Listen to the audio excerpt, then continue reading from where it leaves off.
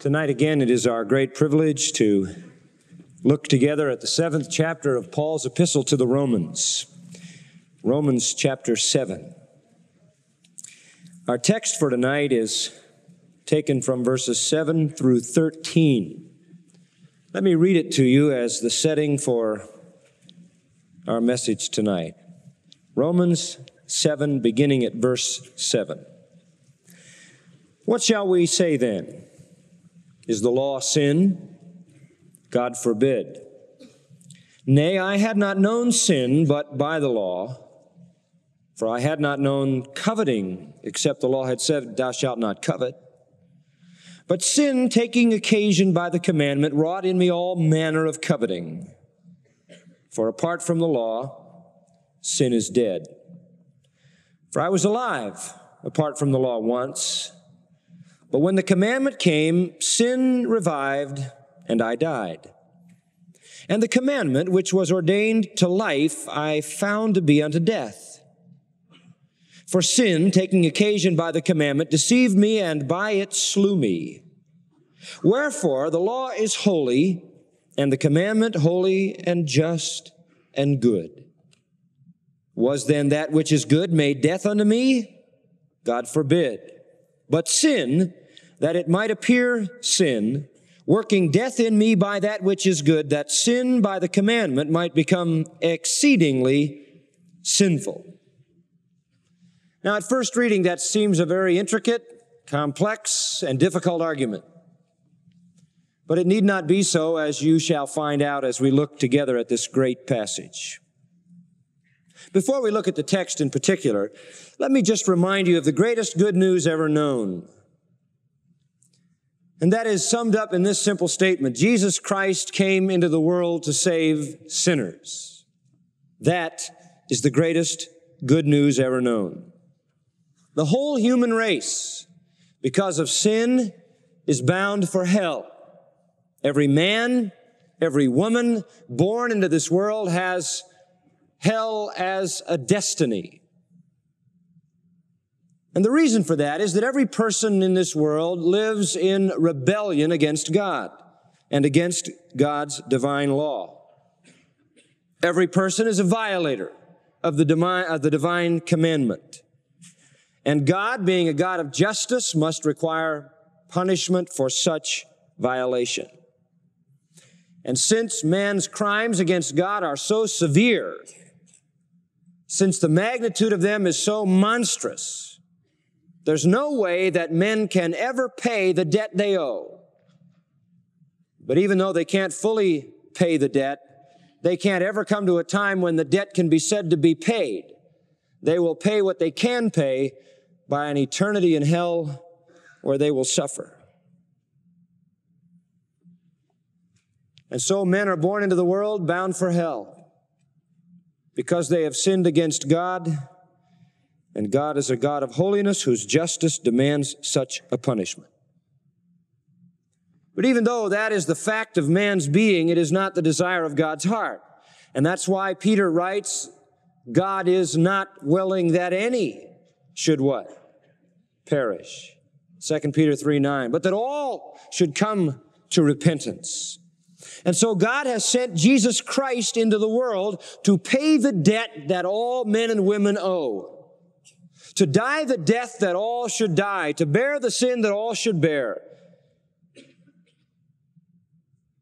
And God has ordained that when a man or a woman believes in Jesus Christ and accepts Him and His work on their behalf, his or her sin is forgiven forever.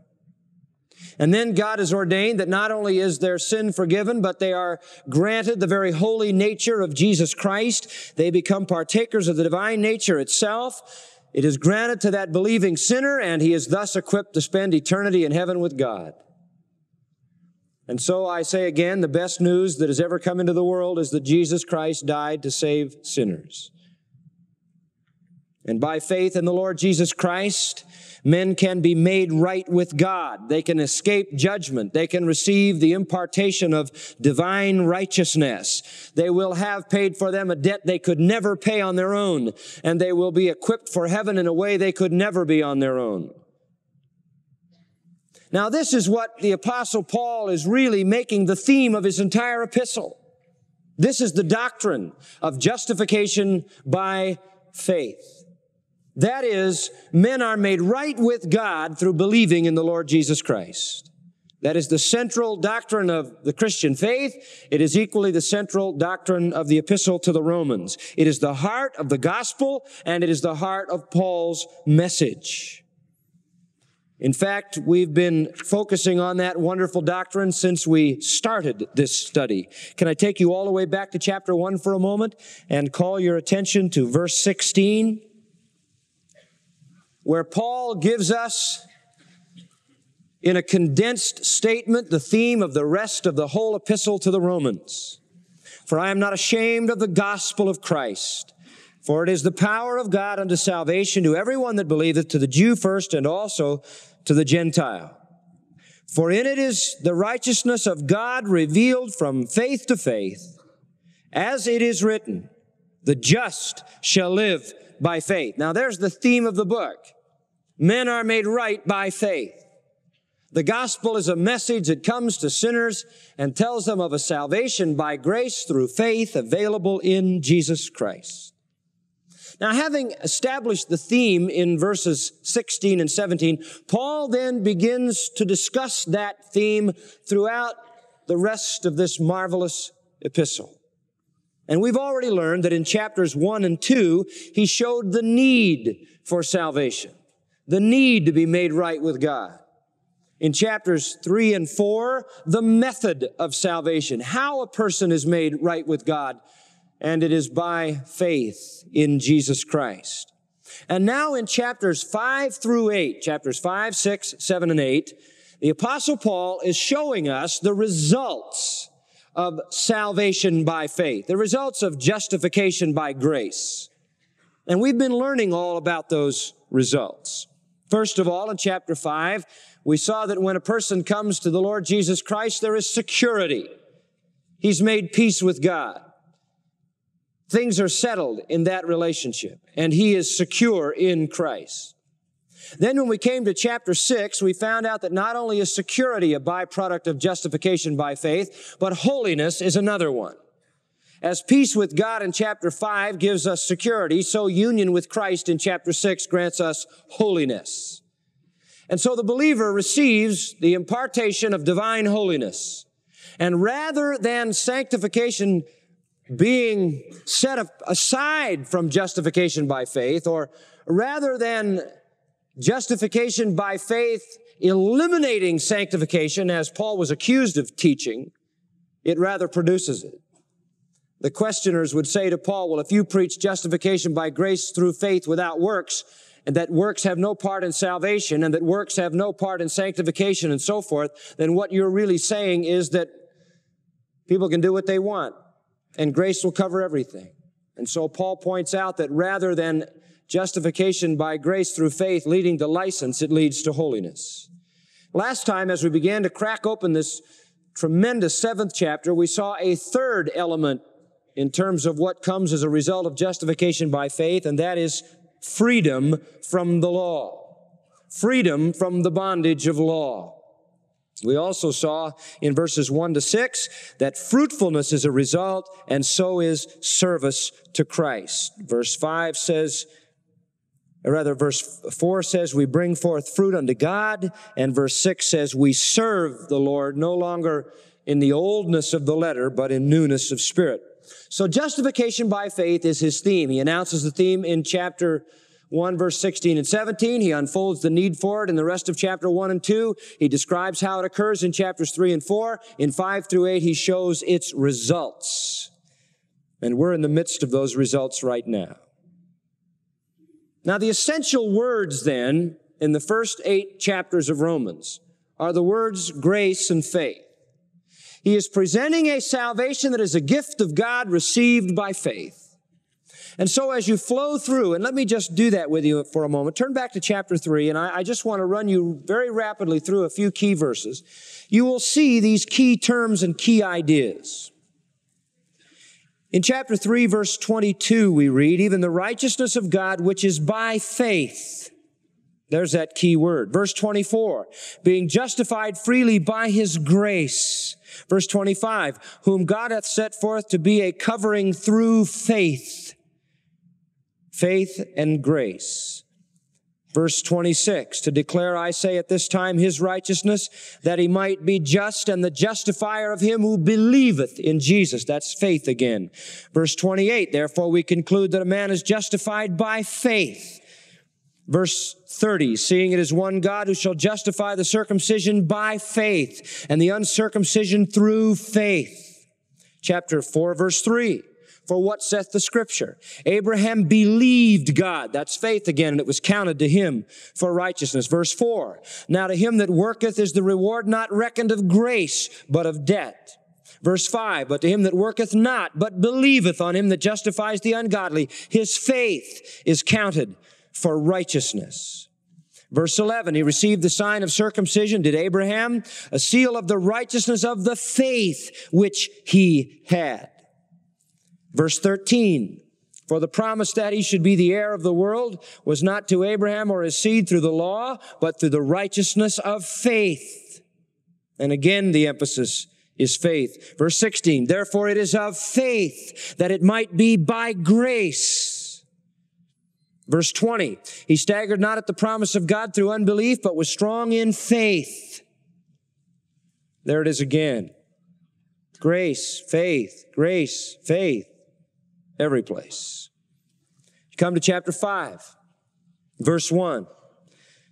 Therefore, being justified by faith. Verse 2, by whom also we have access by faith into this grace Verse 18, therefore as by the offense of one judgment came upon all men to condemnation, even so by the righteousness of one, the free gift came upon all men unto justification of life. And here we find again it is a gift, a gift of grace. Verse 20, the law entered that the offense might abound, but where sin abounded, grace did much more abound. Verse 21, that as sin hath reigned unto death, even so might grace reign unto life.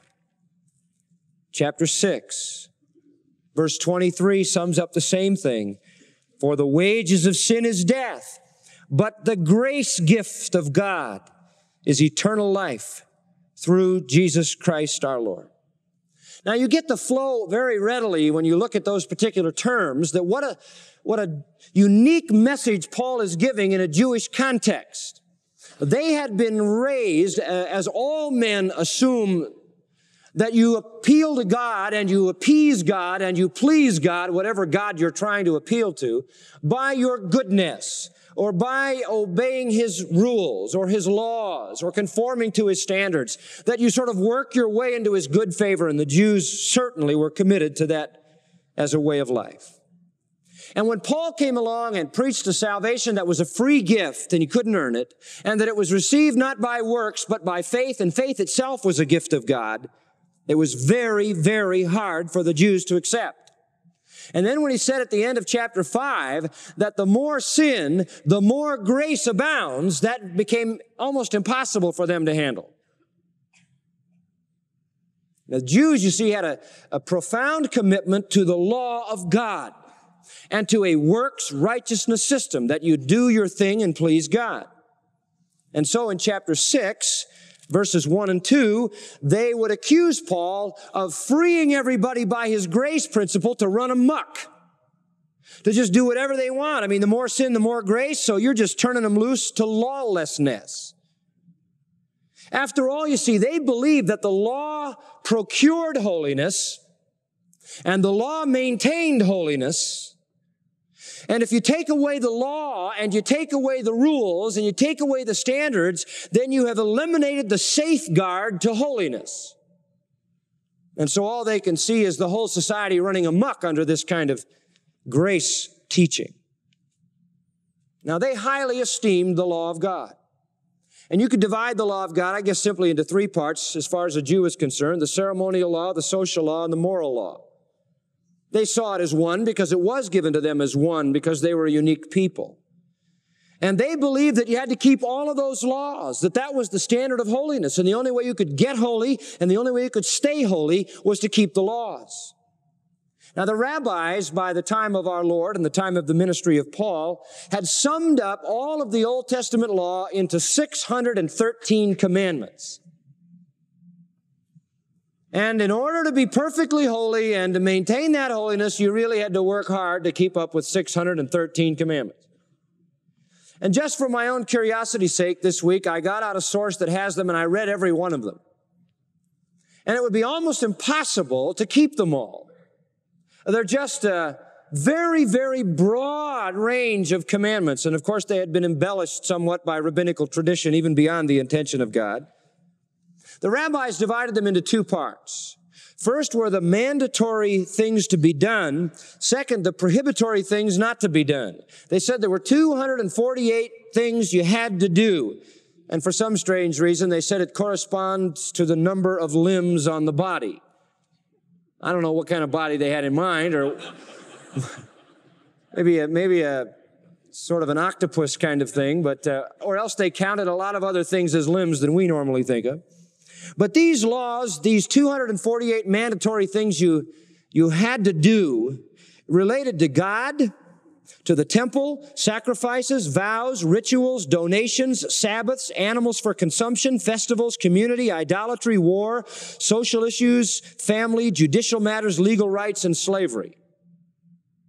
And then they had 365 prohibitory laws. In other words, things you couldn't do. And there was one of those for every solar day of the year. They related to idolatry, uh, lessons from history, blasphemy, temple worship, sacrifices, priests, diet, vows, agriculture, loans, business, slaves, justice, and relationships. And so they had this vast amount of laws. And these laws, by the way, had all kinds of nuances and all kinds of rabbinical interpretations and all kinds of corollaries and adjunct laws and laws upon laws upon laws until it was a literally consuming way of life where you had to go through life with a little thing in your hand so you'd be reading all the time and you wouldn't muff up because you couldn't even remember all the stuff.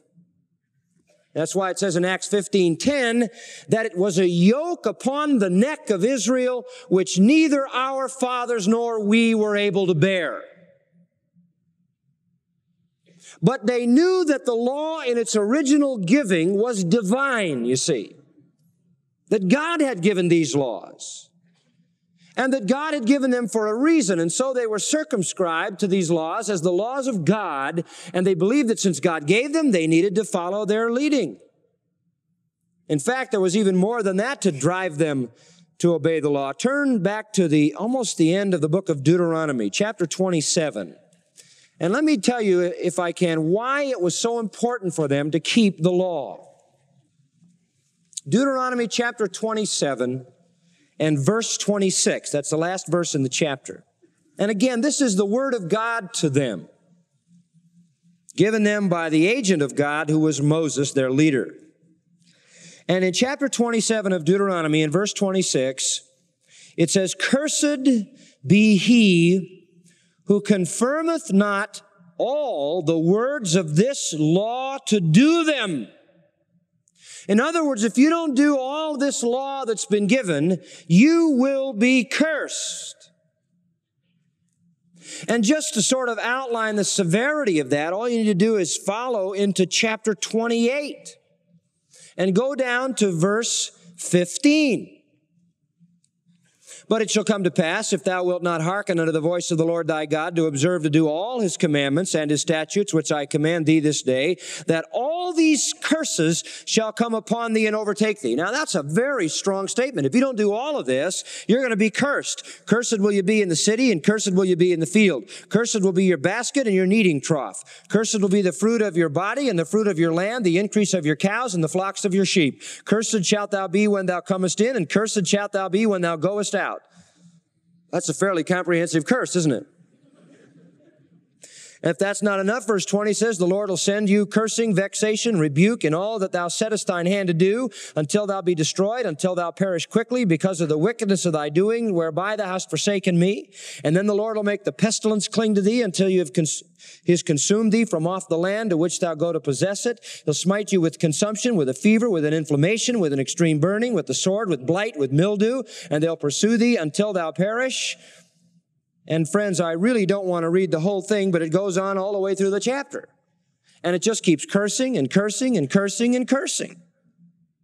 And the curse works, it, works its way through every conceivable dimension of life. If you don't keep all the law of God, you're cursed. Now let's come into the New Testament. And as we come back to where we belong in the book of Romans, we have a little bit of an understanding about why the Jew felt so bound to the law of God. It was, after all, the law of God, and God was God. And you didn't quibble about God being God. And then you have all of this tremendous word relative to the fact that if you don't keep all of this stuff, you're going to be cursed. Now, this is a very heavy burden. Paul alludes to this burden, and he must have borne it because he was a Pharisee of the Pharisees and totally zealous of the law. And in Galatians 3:10 he says, "For as many as are of the works of the law are under the curse." As many people as are still under the law, as are trying to please God by keeping all of His laws, are under a curse. Why? Because you can't keep the law perfectly, can you? And so it says in Galatians 3:10 and he quotes from Deuteronomy, "Cursed is everyone that continues not in all things which are written in the book of the law to do them." Now that tells us that Paul as a Jew understood what Deuteronomy was saying. That if you don't do all this stuff and you don't keep all these laws all the time, you are cursed. Now that's what God said. You're cursed. So the Jews were zealous of the law. And when it came to the message of the Apostle Paul, and he said, uh, Works are no issue. By the deeds of the law shall no flesh be justified. Boy, he was really stomping on their theological toes. They found that very, very difficult to handle. But Paul makes a great point in his message in Galatians chapter 3 because he points out the utter futility of such a such an approach. Cursed is everyone that continues not in all things written in the book of the law to do them. And then he goes on to say that no man is justified by the law in the sight of God. And he even goes a step further and says, and that's evident also from the Old Testament, because it is in the Old Testament where it says, the just shall live by what? Faith. That's Habakkuk. So the Old Testament, now listen to me. The Old Testament on the one hand said if you don't keep all the law all the time for the, all of your life and you break it in one place, you're cursed. That's right. James knew that. James 2:10 says, "For whosoever shall keep the whole law and yet offend in one point, he is what? Guilty of all." You say, "Well, why in the world did God give them a law they couldn't keep?" Very simple. To show them how sinful they were and to drive them to the place where they would realize that to be just, you have to come to God by what? By faith. But they didn't want to come by faith. They thought in their self-righteousness they could earn their way, and so they hung on to the system of works righteousness and ignored the faith principle. And so they were all under a curse. You see, to break one law of God is not like breaking one spoke in a bicycle wheel. You can break one spoke and keep riding. It's like breaking a pane of glass. You shatter it in one spot and the whole thing comes down. And so they were all cursed. And that is the bondage of the law. The bondage of the law is that you're cursed by it because you can't keep it. And yet they tried and they tried and they tried. And they had tried so long and they were so utterly committed to it that when Paul comes along and preaches a message about salvation by grace through faith, they just cannot handle it. And so it is very important that he is careful in explaining to them all of the things needful for them to see the truth about the law. Now we saw that in chapter 6 verse 14, there's a key verse of Romans. Sin shall not have dominion over you, for you're not under the law, but under grace. He says here, you're not under the law, but under grace. That's a wonderful statement. We know what that means, don't we? We're no longer under law in what sense? The curse of it. the curse of it. Because Christ, says Paul, Galatians 3, was made a curse for us. That we might be set free from the curse of the law. So in the message here, Paul says, look, we're not under the law anymore. We're under grace. We're out from under that curse. Now, at this point, any thinking Jew is going to say, well, if the law can't save us, and the law can't sanctify us, and we want to get out from under the law which can only curse us, then what good is the law? Right? I mean, you're just saying, Paul, you're just picking up the whole law of God and dumping it and saying, just get rid of that whole thing. It's useless. It's meaningless. Is that what you're saying?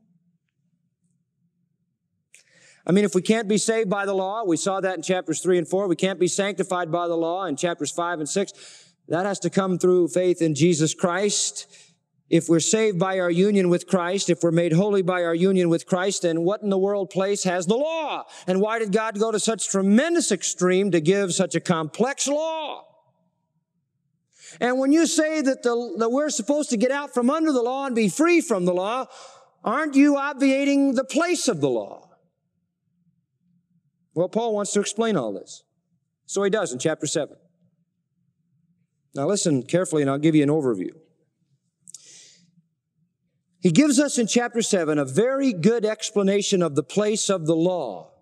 And it is a very important chapter. But he's, uh, he's been warming up to this for a long time, since chapter 3, when he first mentioned that the law couldn't save us. He's been moving in this direction. And if you just take chapter 3 through chapter 8, you get a comprehensive view of the law and its role. Now listen carefully, and I'll give you an outline of that whole section. First, what the law can't do for us. It can't save us. That's chapters 3, 4, and 5. What the law can't do for us, it can't save us. Secondly, Paul shows what the law can't do with us. It can't sanctify us. Chapter 6. It can't make us holy. Thirdly, what the law can't do to us. If we're in Christ, chapter 7, verses 1 to 6, it can't condemn us. Then what the law can do for us. Chapter 7, verses 7 to 13, we're going to look at tonight. It can convict us of sin. Then what the law can't do in us. Chapter 7 verses 14 to 25, it can't deliver us from sin. And finally, what the law can do by us. Chapter 8 verses 1 to 4, it can be fulfilled. Let me run that by again. In chapter 3, 4, and 5, what the law can't do for us. It can't what? Can't save us. Chapter 6, what the law can't do with us. It can't sanctify us or make us holy. Chapter 7, verses 1 to 6, what the law can't do to us. It can't what? Condemn us.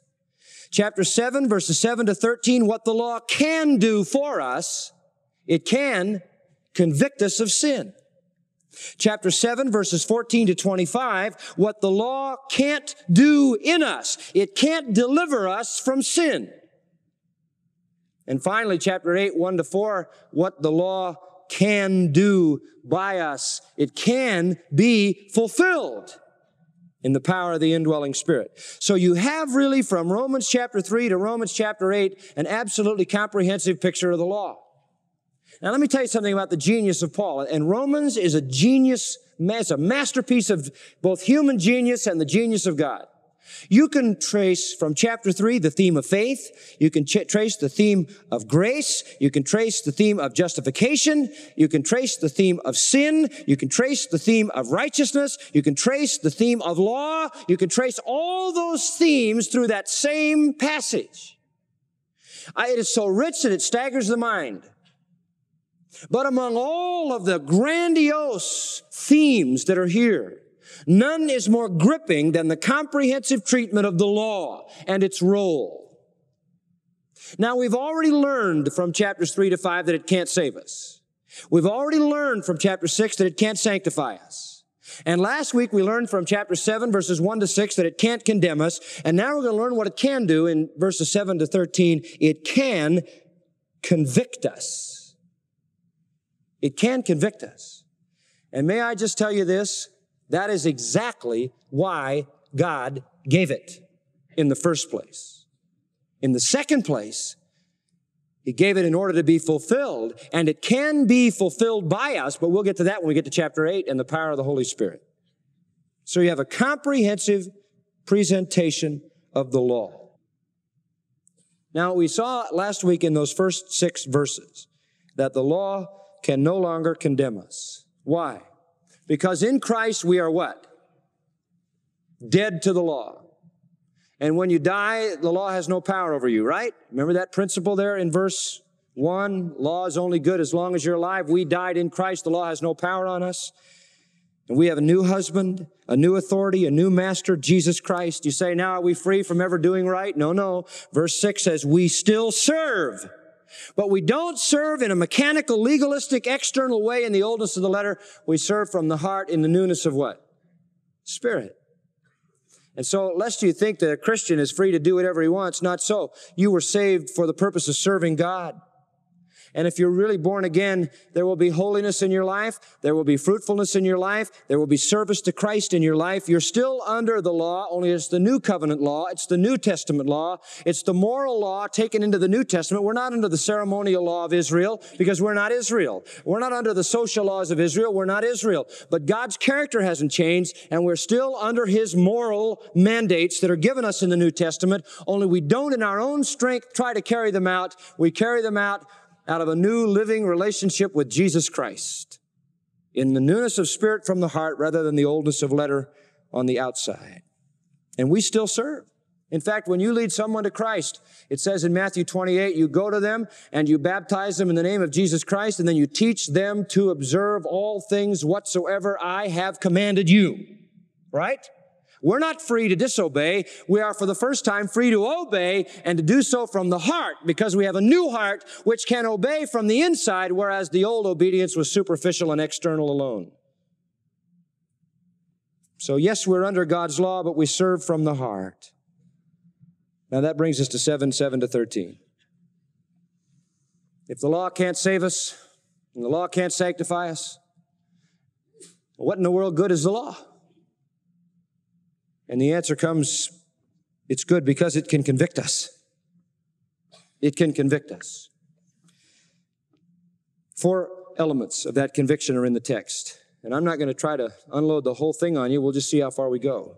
I want you to learn what's here because it's so great. First point, I'll give you four. You have them on your outline if you want to follow along. Here's the first one. The law reveals sin. That's the first element of its convicting power. The law reveals sin. Look at verse 7. What shall we say then? Is the law sin? God forbid. Nay, I had not known sin but by the law, for I had not known coveting except the law had said, Thou shalt not covet. And again, he imagines this Jewish antagonist who's going to say, boy, you've just said we're dead to the law and uh, the law is set aside. It can't save us. It can't sanctify us. It was trying to condemn us. We just need to get rid of the law. Now we're out from under it. We're free from its authority. Are you saying that the law is evil? Are you saying the holy law of God, which God gave to his people, which was a manifestation of his heart and his mind and his will and his nature and his purpose, are you saying that is evil? I mean, if you say we're not under the law and the law can't save us and the law can't redeem us and the law can't do this and that for us, then the law must be evil. And Paul's answer is, again, the strongest negative in the language. God forbid is how it's translated. It's me genoito. It cannot become that. No, no, no, no way, under no circumstances, outrageous thought. Utter absurdity. No, the law of God is not sin. It is not sin. And then he goes on to say I had not known sin but by the law. On the contrary, it is not sin, it reveals sin. You see that? I mean, if there wasn't any law, there couldn't be any sin, true? I mean, if the sign doesn't say keep off the grass and you're on the grass, you haven't broken any law. If there's no law about going a certain speed and you don't go a certain speed, you haven't broken any law because there isn't any law. So he says the law reveals sin. In other words, you put the standard up and you know what sin is. Now, this makes it very clear to me that he's not talking about ceremonial issues. He's not talking about social issues. He's talking about the moral law of God. And so when you see law here, Paul is using it in the sense of God's moral standards. God's moral law. We are called to the law not to be saved by it, but to be judged by it. Romans 3:20 says this. Therefore, by the deeds of the law, there shall no flesh be justified in his sight. Listen to what it says. For by the law is the knowledge of sin. It's a very important truth. The law simply shows us what sin is by God's definition. In Romans 4:15 we find it there. Where no law is, there is no transgression. Verse 13 of chapter 5. But sin is not imputed when there is no law. That's three times. Chapter 3, chapter 4, chapter 5 said the same thing. Without a law, you haven't got any sin. So when God reveals the law, immediately men are measured by the standard and they are found to be sinners. Now listen. Look at the phrase in verse 7 I had not known sin but by the law. I don't think that he has in mind here in terms of knowing just some uh, sort of theoretical, theological, factual dictionary definition of the nature and fact and existence of sin. I think what he's saying is, I really never knew the depth of sin I never knew the full extent of sin until I really understand, understood the full extent of the law. What he is saying here is the law, when I really understood it, convicted me. And would you notice that the word I appears here? And all of a sudden, Paul is giving a personal testimony. All of a sudden, he's speaking in the first person singular, and he's telling you what is going on in his own heart. This is Paul's own personal sinfulness. He's giving a testimony of his conviction. And I believe this was part of his coming to the Savior. This was part of the convicting work of the Spirit of God that culminated in the Damascus Road and the days that followed in his blindness when he came to grips with his own life and the need of a Savior and embraced Jesus Christ and was transformed from Saul the persecutor into Paul the preacher. And I think it's so important that you have this part of his spiritual journey because if you just have the Damascus Road, you might think that he was saved by God apart from his own will. Because there's such a sovereign act of God on the Damascus Road that you wonder whether he had anything going on in his own heart at all, right? I mean, he's walking down the road killing Christians, the next thing you know, he's buried in the dirt and ordained to the ministry. And you don't know whether he ever even got involved in the action himself in terms of his own heart until you know here in Romans that he did indeed and that at the same time, God was bringing upon the man's heart a mounting kind of conviction about his sin as he began to see the law of God for what it really was. Now, for a long time, he thought he knew what the law of God really said. I mean, after all, he was a Pharisee, he was a Jew. He could read you the law as well as anybody could read the law. He could interpret the law in terms of the rabbinic traditions. He had spent his life trying to keep the law. He was very religious. He would have fallen into the category of people described in Romans 10 3 where it says um, they have a zeal for God, not according to knowledge, however. They, they think they know, but they don't. They are ignorant of God's righteousness, so they go about to establish their own righteousness. That's right where he was. He was very busy being uh, like the guy in Luke 18 who was saying, Lord, I thank thee that I'm not as other men. I give tithes of all that I possess. I fast and I do all this, and it's so wonderful to be me, and you must be thrilled to have me around. I mean, he was self righteous. He felt that he was earning his way in. In Galatians chapter 1, verse 13, he says in writing to the Galatians, For ye have heard of my manner of life in time past in the Jews' religion. I mean, his reputation as a zealous Jew was far and wide. Everybody knew about this zealous Jew by the name of Saul. He said in verse 14 of Galatians 1, I profited in the Jews' religion above many of my equals in my own nation, being more exceedingly zealous of the tradition of my fathers. I was the most Jewish Jew there was. I was the most zealous lawkeeper there was. He gives a similar testimony with even more detail in Philippians chapter 3. And all this is very germane to what we're seeing in Romans. Philippians 3 5. I was circumcised the eighth day, and that's the day you're supposed to be. You can thank his parents for that, not him, but nonetheless, it was part and parcel of that whole tradition. He was of the stock of Israel. He was of the tribe of Benjamin. He was a Hebrew of the Hebrews. As touching the law, he was a Pharisee. Concerning zeal, persecuting the church. Get this. Touching the righteousness which is in the law, blameless. You gotta be kidding. By whose definition? You want to know how you could say that? Same way the rich young man could come and uh, have the Lord say, Well, have you kept the law? Since my youth, I've kept all the law. How in the world could a person ever say that? Here's how. Because they had pushed the law of God totally to the external dimension. And it was only a question of what you did or didn't do. And they had re- reinterpreted it to accommodate their sinfulness. So they had reinterpreted the law and they'd made it totally external. It was only a matter of the outside and they never really dealt with the inside and that's where the garbage is. They had circumscribed the outside of their life to look good. And as long as the law of God was only related to the outside, they thought they were fine. And of course, later on in that same chapter, Philippians 3, he says, when I really got to look at my inside, I saw all the stuff that was in my life, and you know what? It all turned out to be dung. That's what he says. Manure. Once he got a view of where the real problem was on the inside and where the law really wanted to apply itself on the inside, he saw what he was.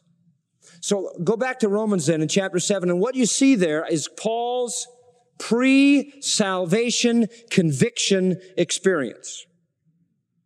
Somehow along the way, as the Lord was bringing him to the transformation of salvation, there was not only the sovereign act of God on the Damascus Road, but there was an internal working by the same sovereign God, bringing Paul to a tremendous awareness of the truth of the law itself. And that is that the law was not just external, but the law was internal. Did you get that? That the law was internal. You say, how do you know that? I know that because of the particular element of the law which Paul picks out. Notice it. For I had not known what?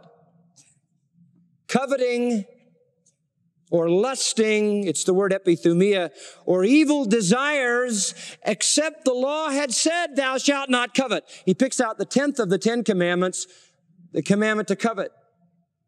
And covet isn't something you do on the outside, is it? Covet is something you do where? On the inside. And of all the Ten Commandments, this is the one that is internal. Of all the Ten Commandments, this is the one that speaks of the inside, about lust and desire.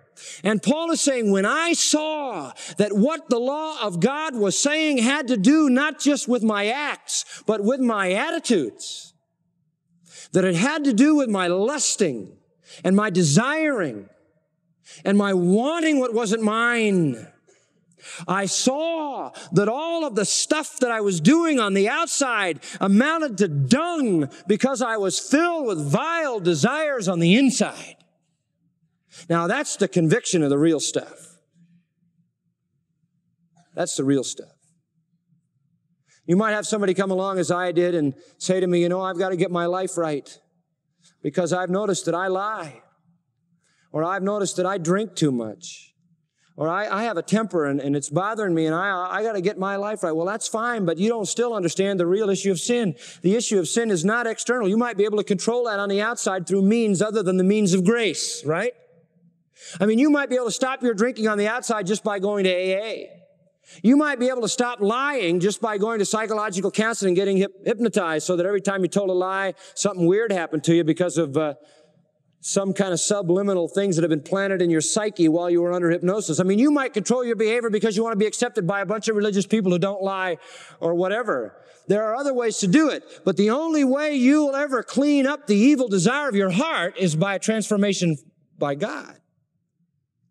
And so that's what the law is intended to do. And that's why there aren't just external commands, but there are internal ones. And the one that hits with the greatest impact, the one that just devastates, is the one about lusting or coveting because it speaks about the heart. Now, this is Paul's experience, but not only his experience, I think he speaks for all who come to true conviction. I believe that when you come to Jesus Christ, you come to the conviction that not only do you have trouble, trouble controlling the outside, but you've got worse trouble controlling the inside. All the unsaved who come to Christ come this way. They see the reality of the depth of their sin. Not only that they do wrong things, but that there is an inner corruption in their nature. You've been listening to John MacArthur, Bible teacher with Grace to You. For free access to all of John's lessons and a listing of study Bibles and books available for sale, visit Grace to You's website at gty.org. John MacArthur and Grace to You reserve all copyright protection under applicable law. Our copyright policy is available at gty.org, and it includes instructions for and limitations on duplicating this digital file.